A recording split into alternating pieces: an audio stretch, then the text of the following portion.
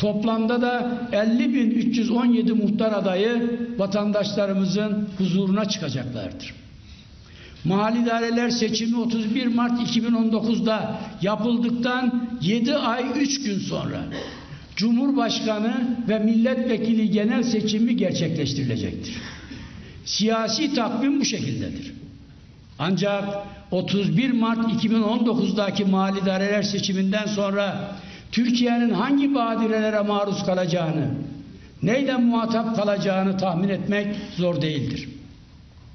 Çünkü 3 Kasım üzerinde oynana, oynama ve kaos üretme çabaları şimdiden ortaya çıkmıştır. Mahalli idareler seçimlerinde yaşanması muhtemel kutuplaşma ve anlaşmazlıkların 3 Kasım'a nasıl yansıyacağı, ne gibi olumsuzluklar, olumsuzluklara kapı aralayacağı, Türkiye'yi nerelere sürükleyeceği az çok malumumuzdur. Bu riski kaynağında kesmek, demokrasinin erdem ve ilkeleriyle ülkemizin ufkunu aydınlatmak başlıca amacımızdır. Önümüzde iki seçenek vardır. Ya Cumhurbaşkanı ve milletvekili seçimini normal tarihi olan 3 Kasım 2019'da beklenecek ya da milli mecburiyet ve ortaya çıkan meşru gerekçelerden dolayı seçimler erkene çekilecektir. Cumhurbaşkanı ve milletvekili genel seçiminin zamanında yapılması ile ilgili talepler doğal bir haktır.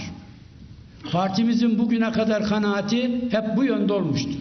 Tartışılmasını ümit ettiğimiz teklifimiz şudur.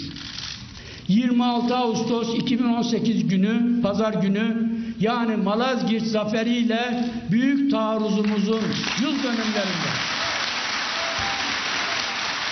Türk milleti yeni bir zafer ruhuyla sandığa gidip hem Cumhurbaşkanını hem de milletvekili genel seçiminde Türk ve Türkiye düşmanlarına hak ettikleri dersi vermesi en makul, en mantıklı, en akılcı, en demokratik yoldur.